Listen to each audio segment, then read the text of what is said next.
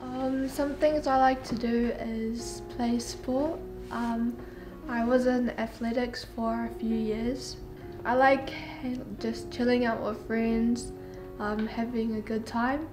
I've wanted to be baptized for a while, but I was just too nervous to ask. But when um, the Bible studies came up, I found that as an opportunity to get baptized. Um, I want to be baptized because I want to show people around me and in my life that I'm dedicating my life to God.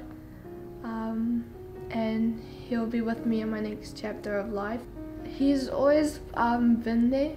He's um, he's helped my family when we were going through a hard time because when I was five, um, we left my dad. Sorry. He helped us, um, oh, God helped us um, get through that. And five or four years ago, um, my mum met her um, partner now. Um, his name's Isaac. He's um, he's always been there for my mum.